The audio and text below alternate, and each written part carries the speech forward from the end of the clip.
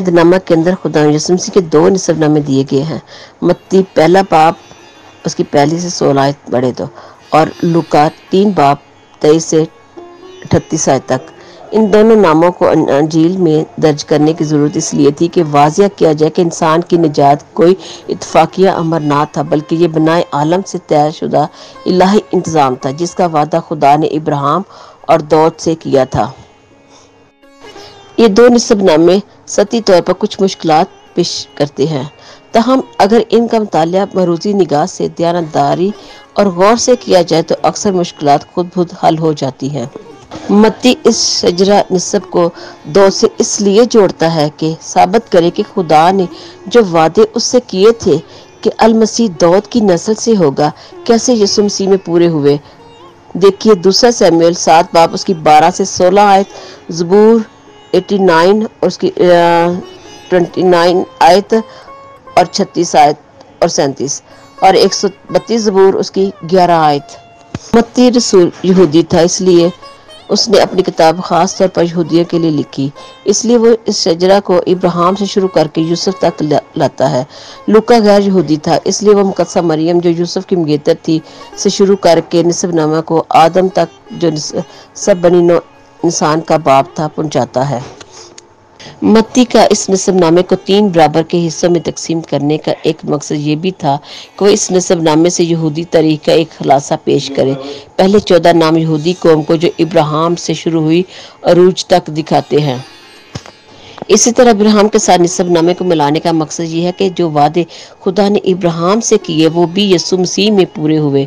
देखिए पदाश बारह बाप उसके साथ आयत तेरह बाप उसकी पंद्रह आयत और सत्रह बाप उसकी सात आयत, बाईस बाप उसकी अठारह आयत और गलतियों तीन बाप उसकी सोलह आयत। कि किस तरह ये कौम दौद बादशाह के ज़माना में एक मज़बूत सल्तनत बन गए दूसरे चौदह नाम उसमें उस कौम के जवाल और असीरी के दौर की निशानदाही करते हैं। आखिरी चौदह नाम बताते हैं कि मौद मसीह के आने से इंसान गुनाह की गुलामी से मुख्तलि पाकर आज़ाद होता है। एक और बात, नहायत अहम है मत्ती का नसब नमा वालदियत का शजरनामा नहीं, बल्कि यहाँ शाही और कानूनी जानशीनी का सिलसिला दिखाया गया है। मत्ती साबित करता है कि खुदावन यसु दौद के तहत के वारिस हैं। मत्ती के नसबनामा में जिन यूनानी लफज का तर्जमा पैदा हुआ किया गया है, वो सिर्फ़ जिसमानी पैदाइश की तरफ़ इशारा नहीं करता, बल्कि कानूनी तसलसल ख़ानदान के लिए भी इस्तेमाल किया जाता था। कानून के लिहाज से यसु यूसुफ के बेटे थे, जिस्मानी लिहाज से कमारी मरियम के मत्ती पहला बाब अठारह से तेईस आयत कानूनी बेटा होते हुए वह दौद के तहत के हकदार थे। मत्ती के नसबनामा में गौर तलब बात यह है कि यहूदी रस्म और रवाज के मुताबिक यादाश्त के आसानी के लिए वो चौदह चौदह के तीन हिस्सों में बांटता है, चूँकि इस ज़माना में किताबें आम दस्तियाब ना होती थी, इसलिए लोग खुदा के कलाम की बातों को अजबर करके महफूज रख लेते थे। यहूदियों के यहाँ चौदह का हिस्सा खास मायने रखता था। मत्ती के नसरनामा के सिलसिला में ये बात कुछ हैरान कन है कि मती दस्तूर के खिलाफ तीन औरतों का नाम भी दर्ज करता है। यानी तिमर, आयत तीन, राहब, आयत पाँच में और रूत, आयत पाँच। इसके सिवा वो बैतसबा की तरफ़ भी इशारा करता है, आयत छः में। गालबन मती ये ज़ाहिर करना चाहता है कि खुदा ने दुनिया के कमज़ोरों कमीनों और हकीरों को चुन लिया कि खुदा का जलाल ज़ाहिर करे। पहला क्रंथियों, पहला बाप, उसके अट्ठाईस आयत। आप ज़रा इन दो नसबनामों पर कुछ गहरी नज़र डालें, चूँकि आदम से इब्राहिम तक का नसबनामा मती के अंजील में दर्ज नहीं, इसलिए हमें उसके मतलब बहस करने की ज़रूरत नहीं। लूका का नसबनामा मती से इसलिए मुख्तलिफ़ है क्योंकि उसमें सिलसिला नसब मुकदसा मरियम से कायम किया गया है। वो यसु का शजरा नसब मरियम के बाप एली से लेकर दाऊद, इब्राहिम और आदम तक पहुंचाता है। जो इब्रानी के मतन से जगह मुख्तलिफ़ है। इब्राहिम से दाऊद तक दोनों फरिश्ते यकसा हैं। लुका पहला बाप से पहला तवारीख, पहला बाप और उसकी पहली से चार आयात।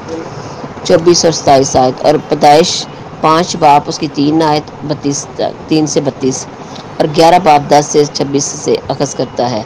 सिर्फ़ एक नाम का फ़र्क है, यानी लुका अरफिक्स और सलाह के नामों के दरमियान। लुका तीन बाप पैंतीस से छत्तीस कनान का नाम दर्ज करता है। इसकी वजह से ये है कि लुका यूनानी का मशहूर तर्जमा अफ्तादा इस्तेमाल कर रहा था। मती के झील में यकुनिया के बाद सियालती एल और जर बाबल आते हैं। बारात में। ये नाम लुका तीन बब सताइस में भी आते हैं, लेकिन इसके बाद फरिश्ते फिर रुख बदल लेती हैं। दौद से यूसुफ तक नामों की फरिस्त मुख्तलिफ़ है। मती रसूल दौद के बेटे सुलेमान से यहूदा के बादशाहों का सिलसिला जानशीनी पेश करता है, जिससे वो यकूनिया आयत ग्यारह तक लाता है। लुका दौद के एक बेटे नातन, जिसकी माँ बैतसबा थी, पहला तवारिक तीन बा पाँच का नसबनामा अखज़ करता है ताकि दिखाए कि यसु, जिसम के अतबार से दौद की नस्ल से पैदा हुए। रूम में पहला बाप तीन आयत मत्ती पहला बाप उसकी सोनायत यहूदी रिवाज और दस्तूर के मुताबिक आम तौर पर औरतों का नाम नसबनमा में नहीं आता था। इसलिए अगरचे लुका साफ़ तौर से लिख चुका है कि यसु कुमारी मरियम से पैदा हुए तो भी वो दस्तूर का लिहाज करते हुए मरियम का नाम नसबनामे में नहीं देता। का पहला बाप छब्बीस पैंतीस आय तक आप लोग इन हवालों का मुताल करें और देखें कि ये नसब नामे क्या बयान करते हैं और इन हवालों के अंदर क्या है, क्योंकि हर चीज़ का आपको एंथेटिक सबूत मिलेगा और खुदा यसम सी दौद के घराने से ही थे। लुका की फरिस्त का दूसरा नाम गौर तलब है। लुका तीन बाप उसकी तेईसत एली को यूसुफ का बाप कहा गया है। हो सकता है कि एली मरियम का बाप था।